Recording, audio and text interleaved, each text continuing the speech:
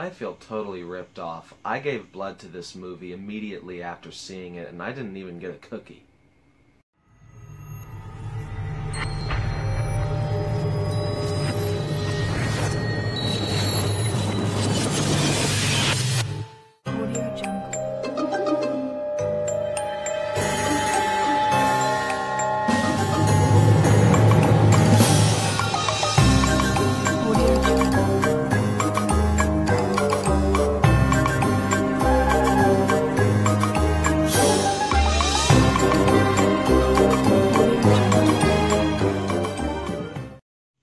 Fangoria Blood Drive, both volumes 1 and 2, are simply collections of short horror films made by up and coming filmmakers. And while volume 2 is far from perfect, I do feel like it is a vast improvement over volume 1. I mean, volume 1 definitely had a couple of shorts that stood out, but as a whole, uh, volume 2 is just more interesting and memorable. For starters, Volume 2 is hosted by someone called Mistress Julia, who I honestly don't know much about outside of the fact that she hosted this. I should probably do some research soon. But even though she doesn't say anything especially funny, she does show a lot of personality and enthusiasm.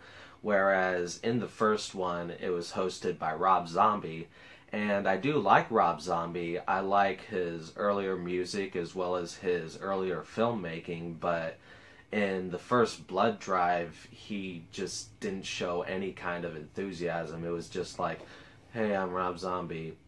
This next film is called whatever the title is. I'm gonna go wait in my trailer. As for the shorts, I'm going to give you a quick rundown of what I thought of each one. The first is called We All Fall Down, which is hampered by some pretty bad acting, but the storyline is still very interesting and creepy. The Gibbering Horror of Howard Gormley is a very creepy silent film with a really cool concept and a really interesting kind of expressionistic style. Means to an End was just plain stupid, but in a really funny kind of way. Mainstream is probably the artsiest out of these shorts. It's very thin in terms of story structure, but it does have a really cool visual style. Disposer is a short film which should have been disposed of. It was just so fucking dumb, it was almost painful to watch.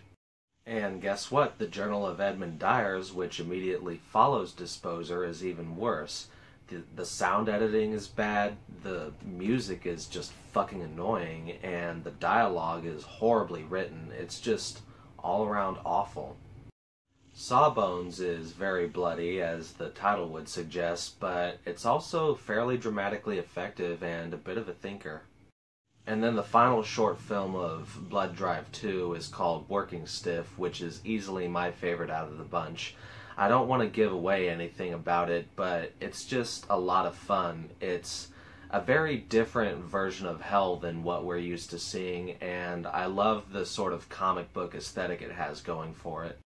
So, in the end, even though it does have those two shorts that are damn near unwatchable, overall, Blood Drive 2 is a pretty cool horror anthology if you're interested in seeing a collection of short films with a variety of different styles, then this one does come recommended. And as always, I hope you all have a good one.